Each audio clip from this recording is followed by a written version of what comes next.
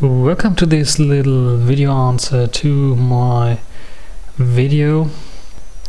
By the way inspired by the question of designer Nessa who couldn't get the linking to an activity feature to work the file shows up in every activity that I have he wrote.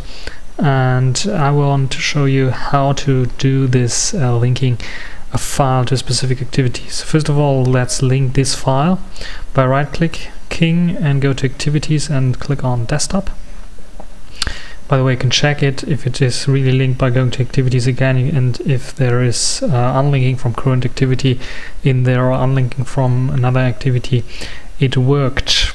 So what we can now do is basically, and this is what I meant in the video, is create a folder view on my activity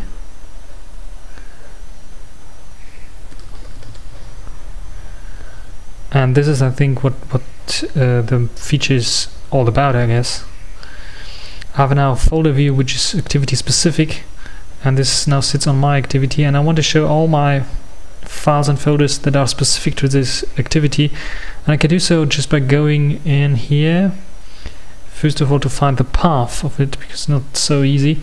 Deleting everything and then if you delete everything a nice little file with an arrow pops up and if you click on here you can change the different to different protocols just like for example to the activities protocol. And if you are on the activities protocol you can see if I enter this uh, you can see all the activities running here the current activity the desktop and the search and lounge and my current activity is the same as uh, the desktop. When I click on desktop, you can see my test clip is in there. So what I need to do is just copy this path, go to settings in the folder view on my desktop, and inserting this path, uh, path at this specific folder. Hit apply, and as you can see, now you have this uh, in here. So this um, will change when I link uh, more stuff against it just for example let me get back to home documents and linking a PDF file for example to desktop as you can see it's now linked also in here.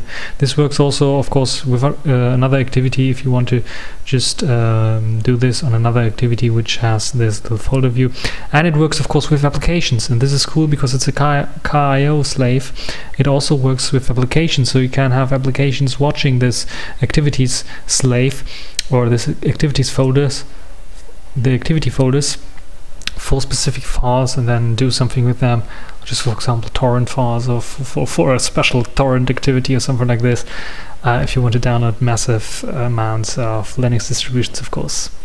So I think this uh, explains the um, activities and linking files against them a little bit more I hope so.